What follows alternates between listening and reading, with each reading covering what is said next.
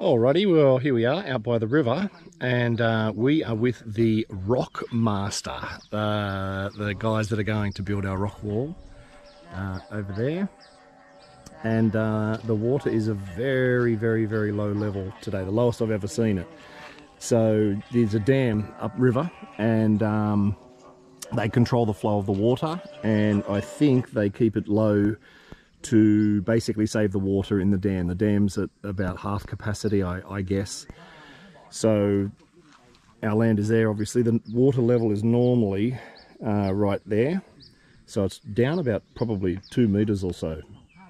And um, we've got all the rocks here, which is good to help support it. And uh, we're going to put these big rocks though, like if you saw on the video yesterday, I pointed those out.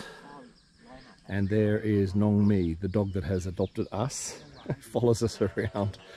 And uh, yeah, good times.